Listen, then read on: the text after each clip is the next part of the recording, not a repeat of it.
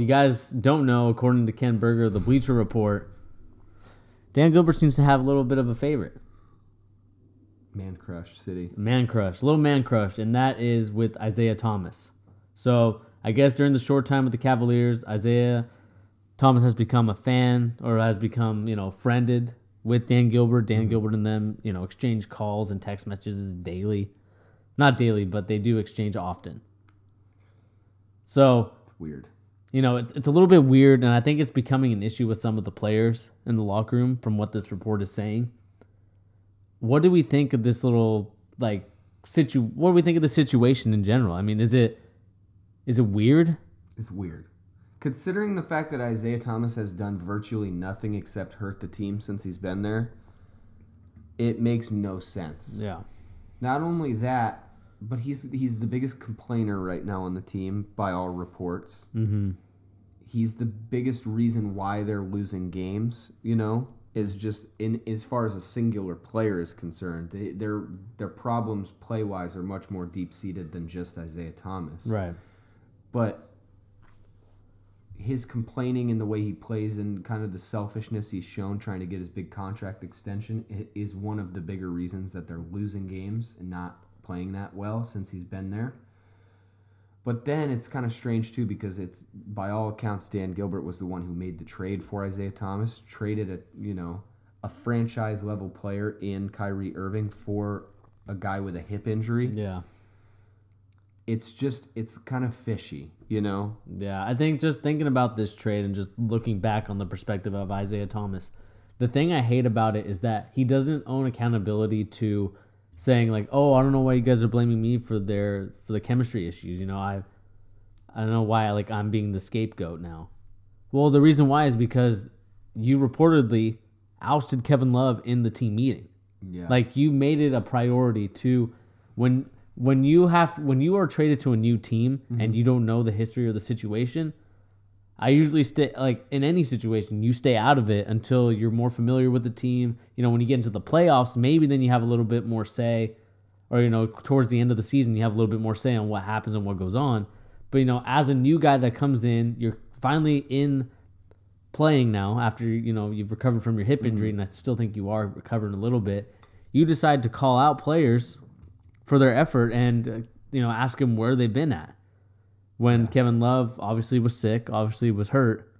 and he's he's been there for Yeah. years. He's part of the reason they won a championship, you know, and been to the finals for the three years, four years pr- prior to you being mm-hmm. here. So for a guy like Isaiah Thomas, who's done, like I said, basically nothing except hurt the team, to call somebody out who's been there and is a veteran of the squad, it's just like it's such a sensitive move, you know, Yeah. and not even just sensitive, but it's just like it, it, it personally is making me view Isaiah Thomas in a different light. Like I kind of like him less since all this stuff has been coming out about what he's doing and saying in the locker room, and that that whole situation makes the the weird friendship between him and Dan Gilbert even stranger. You know, Yeah. and Dan Gilbert. If there's no plot by LeBron to come back and try and own this team, like we discussed yesterday, this is i mean he's established he's essentially cutting off all ties of uh, getting lebron back Yeah.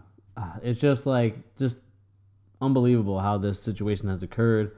Isaiah Thomas, I still like the guy and I still think he's a great player, but he's not I think the media and everyone that was watching the game got fooled by the system he was in in Boston. When we saw that he scored 29 points in Boston, we were like, "Oh wow, like you know, with the right coaching and the right situation, he can score 29 points." Mm-hmm. And that's the fact. The right situation and the right coaches can help him score 29 points a game. But as we saw throughout his career, and I think we talked about it earlier, he's a 15 point a game type of player. not only that but he's been ousted by two different teams before the celtics Yeah. for being difficult to be around so yeah, it's just it's it's so strange all around and you know dan gilbert is really running the franchise into the ground at the moment mm-hmm. and maintaining your Brooklyn pick, which is probably going to be somewhere in the 10 to 15 range, you know, does that really save the franchise, you know? No. And no offense to a guy like Miles Bridges, who's somewhere in that range. Like that guy or the other guys in there, they're not franchise altering players, really. No. You know. There's probably either you know maybe two or three, potentially. Yeah. And this is all based on potential. And like we talked about before, LeBron James is not wanting and willing to play with a rookie. He wants to play with experienced veterans who have playoff experience because in the NBA today, you know, a 19 year old isn't going to help you win championship. Yeah. What you do with them is you grow and develop them. So, looking back at it, you know, Dan Gilbert, you've made some terrible moves. Now you're befriending a player that the players are starting to get a little weary of mm-hmm. and questioning. You know, what's what's the what's the agenda? Like Tyronn Lue has said specifically, we have players with agendas and they need to get rid of them. So I think, like we talked about before, Isaiah has an agenda. He's trying to get a max contract. He's he's trying to do everything he can to become that cream of the crop type of player. The problem is, he's just not that guy. And the fact that I, the players have to see what Isaiah Thomas is doing right now and not be happy about it too. Yeah, You're not doing anything but hurting the team, and you're becoming friends with the owner just in the sense that you probably want your mega contract. You know, and your only chance of doing it, no team in the league is going to see the way he's playing and give him a mega mm-hmm. contract. It's just not happening. So his only chance is to be, you know, do something for the Cavaliers. And probably in his perspective, becoming friends with the guy who's going to pay him is probably his best shot of doing it. It's it's yeah, it's crazy. yeah. crazy. And you can't build uh, your championship team or like a team around Isaiah when he's already 29 years old, and you're trying to use that pick to get a player Yep. that is like you know, 19, 20, and he won't really help you out. I mean, that's all I really got to say about it. say about it. It's on. It's really a bummer to see. Yeah, like, it's disappointing for sure. Because, and, and I know a lot of people aren't necessarily big fans of the Cavs, but it's hard to deny that the Cavs being competitive for the last five years or the last four years against the Warriors hasn't made the NBA more entertaining. hmm So to see this team that had great moments and had a classic sports moment ever, you know, with the three to one comeback against the Warriors, that's classic as far as NBA. It's one of you know the greatest moments in series ever we've we've ever seen. hmm So to see it all come apart at the seams like this is just like it's really disheartening for the NBA. Yeah, it kind of gets rid of a competition, and it's basically becoming what you know all industries are turning into now. It's just one.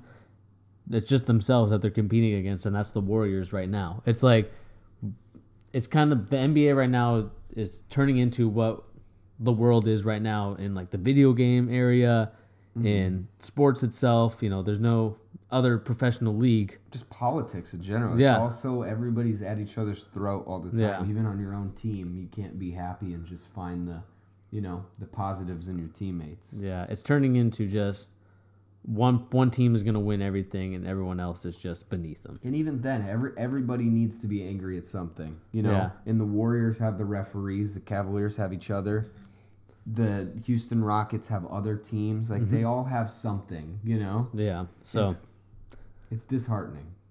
Disheartening. yeah, I think that's pretty much it for the Isaiah talk. That kind of sums up our Cavs feelings. Kind of sad. Yeah.